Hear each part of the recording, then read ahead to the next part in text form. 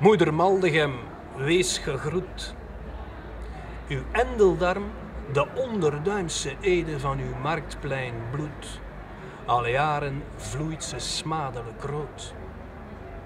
Verstopt van mond tot aars door mateloze dwazen, vergist uw voedsel zich tot stank, die geen rioolrad zal verbazen. Uw lichaam is in stervensnood.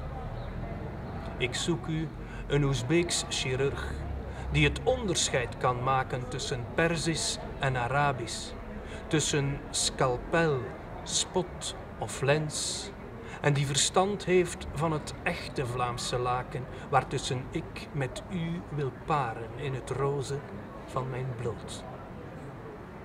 Het genezen water van uw volk dan, hun noeste zweet, hun warme tranen zal door uw open bekken stromen in het licht van uw organen, die democratisch zullen zijn of dood. Die democratisch zullen zijn of dood.